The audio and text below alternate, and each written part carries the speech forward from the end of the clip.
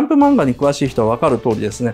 ジャンプの漫画、あらゆるジャンプの漫画は10話で打ち切られる可能性があるわけです。本当に作者が書きたいのは13話以降だったっていうのはですね、この流れでわかるんですけど、もう本当にね、いい度胸してるなと。えー、言ってみましょう。えー、石器と紐と火を手に入れた先空は、ついにそれで家まで作ってしまいますね。で、これ、家を手に入れたっていう、あの、家なんですけども、注目すべきところはですね、ここの横と上ですね。あの、板を使ってないんですよ。これ木の皮なんですね。この上を見たらわかる通り、木の表面にあの、皮があるんですけど、その皮を剥いだものを並べてる。こちらも板ではないんですよ。で、板はノコギリがないとダメなのでですね、あの、ノコギリまたはまあ、金属製の斧でもできるんですけども、つまり青銅器文明になるまで板っていうのはなかなか手に入らないんですね。で、石斧でも板作れるかと言われたら作れないことはないんですけども、素人の先空が板を切り出して家を作るというのはあまりにリアリティがないと。で、それよりはこの僕が見てるポイントはですね、先空が腰から下げているこの石器なんですよ。さっきの石器は、この打石器ですね。こう二つの石器をちょっと比べてください。さっきの石器はですね、石に、あの、木の穴に石を通しただけの石器です。それに対してこっちの石器はですね、実は、あの、手に入れた紐で、あの、棒にくくりつけてる同じ木の枝でも棒にちゃんとくくりつけてるんですね。こっちの場合はですね、あの、使える枝の種類が限られてるんですけども、この紐でくくりつける形式にすることによってですね、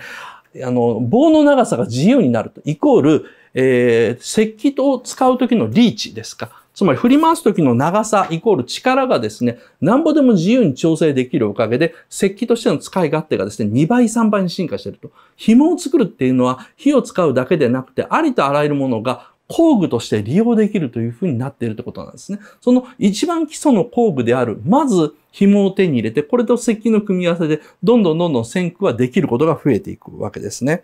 で、今話したところがですね、実は2巻の13話なんですよ。で、13話っていうのはどういう意味かっていうと、ジャンプ漫画に詳しい人はわかる通りですね、ジャンプの漫画、あらゆるジャンプの漫画は10話で打ち切られる可能性があるわけですよ。どんなに準備しても、どんなに編集者が思い入れしても、どんなに自分たちが作作り上げても何年かかって準備しようとも、人気がなかったら10話で打ち切りっていうのが少年ジャンプの運命なんですよ。で、これ13話です。13話ということは、もしドクターストーンこんだけ下準備してるのに、10話で打ち切られちゃったら、今のシーン一切出てないんですね。こんな面白いですね。本当は文明をゼロから作る話だから、本当はまず真っ先に見せたいのに、まず一番最初に違う男の子を生き返らせて、でそれが親友の先空にあって、実は好きな女の子がいて、その女の子を生き返らせるために。ところが、命の危機があるから、なんかすごい強い男を生き返らせてしまった。で、そいつと対立構造になってっていうような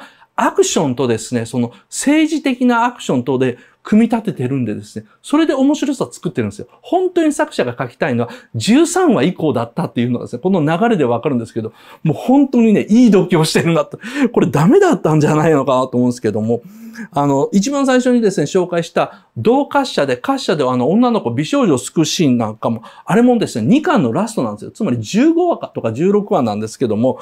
あの、ジャンプでよくある10話打ち切りだったらですね、この漫画は美味しいところを全部見せないまま終わってたはずなんですね。